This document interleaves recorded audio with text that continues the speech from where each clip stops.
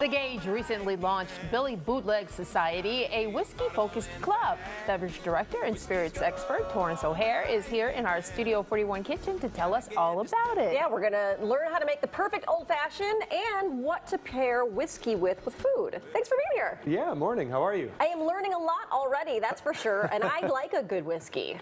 Yeah, it, this, uh, it's really fun to be able to put together a collection of spirits like this because uh, where the, the field of whiskey is so wide and so varied, it really does take a, uh, a quote unquote spirit guide to help make sure that you know what you're doing and what you're finding and the value of it and, and show you things that are actually interesting and unique as opposed to something that you could effectively get anywhere. All right, so the Bootleg Society gives you a new whiskey how often? So it's a new whiskey every month month. Effectively, what I do is put together a collection of uh, unique projects, individual productions, single barrels, basically how you age a spirit, whether it's whiskey, rum, cognac, anything that ages in a barrel, depending everything down to how you built the barrel, where you store the barrel, everything wow. about it. Each individual barrel produces a different spirit. And so when you're a big brand whiskey, your job is to taste a little bit of every single one of your thousand barrels and blend it together so it always tastes exactly the same. Uh, but for our projects, we go, yeah, but what about that individual barrel that doesn't taste like the same main brand, but has some really cool iterations, has some really cool variation to it? And so we buy that individual ah. barrel that is sort of like a cool variation of a known product, uh, and then we give out half of that to our club members. So I have to ask, because this is where I used to get really confused. Uh, you know, you go down the, the liquor aisle and it's whiskey and bourbon, or whiskey bourbon. Like, what is the difference? Uh, very little. Okay. Uh, all bourbon is whiskey. Not all whiskey is bourbon. Got it. Okay. Uh, it's also false that bourbon has to come from Kentucky. That's not true. It's just a, a, a colloquialism. Uh, basically, it, it is all about what grain and what blend goes into making your whiskey. All whiskey is a grain spirit. 99.9% uh, percent of it aged in a barrel.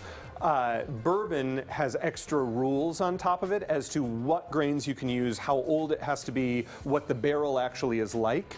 Uh, so buying bourbon knows that it's jumped through those specific hoops. Got it. Uh, but whiskey as a macro category, like whether or not it's bourbon does not have anything to do with whether or not it's good. It's just a specific style of whiskey with those rules followed. Oh, All right, good. I see why you need a spirit yes. guide because I was sitting there like my head was going, whoa. Exactly, yeah. Let's talk about this old fashioned yes. that you're going to make Absolutely. So an old fashioned, uh, it's there's a lot of different iterations of old fashions. You see them like splashes of juice and soda yeah. and all kinds of crazy things. But when you take it back to the original roots, all an old fashioned is supposed to do is sort of smooth, polish, and highlight a quality spirit. Okay. Uh, and then if you're not using a quality spirit, that's when you add in all the extra stuff because okay. now you're kind of covering up the edges. Okay. Uh, but all you really need for an old fashioned is a little bit of sugar syrup that I've got right here. Uh, you need the spirit. And yes, you know, people think of old fashioned as a bourbon cocktail, but we at the Gage make killer old fashions out of high end cognac or Ooh. really nice rum. Aged tequila makes Ooh. a great old fashioned. Really? Uh, essentially, you just stir to combine, or if you were using granulated sugar, you would stir to dissolve your sugar. Uh-huh and then you add a little bit of ice.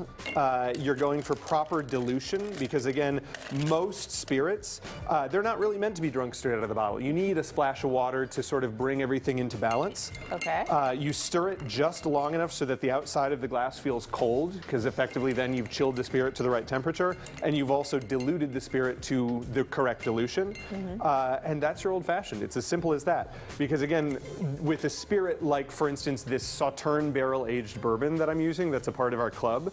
Uh, it's so elegant, it's so subtle, it's so unique that yes, optionally you garnish with citrus twists, optionally you add bitters, all of these things, but with something like this, it doesn't need extra flavor because it's so soft and subtle as it is that effectively you're just going to end up tasting bitters as opposed to tasting this really unique spirit. You're not throwing a maraschino cherry in there? Uh, you know, again, no. like you are welcome to garnish it as you like, but a traditional fashion is is about highlighting a fine spirit as opposed to making a fine spirit taste like splashes of Coke and maraschino cherries. Right. Okay. So, what does this pair best with? So this spirit in and of itself, and uh, when you talk about pairing spirits with food, it really is about recognizing the intensity and the texture of the food against the intensity and the texture of the spirit.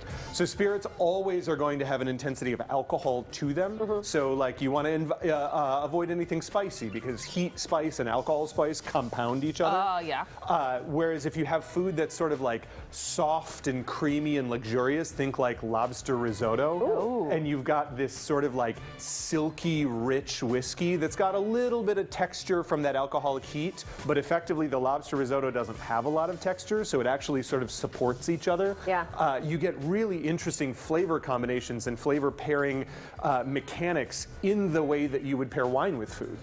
Oh, fascinating. I know we're just sitting there like, Yeah, food, food and spirit pairing is really great. People kind of write it off assuming that, like, well, you know, you drink wine with food and a cocktail before dinner.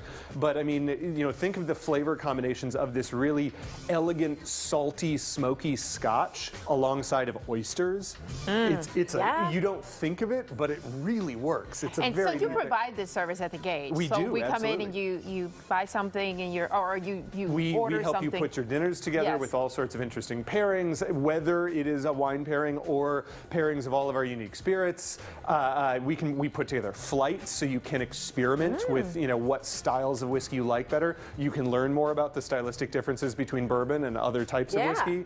Uh, yeah, it's a great, it's a, a really great way to go into understanding whiskey uh, for a novice. You don't have to be a you know million dollar collection of whiskey holder, and you also don't have to be drinking just to get plastered. You can enjoy it in sort of a, a, a, a subtle, uh, a really interesting way that you might enjoy a glass of wine with dinner. Absolutely. You can adult. You can be Yeah. an You can adult. adult, Yeah, exactly. Go adulting. Thanks so much for being here. We really appreciate Thank you it. for having me.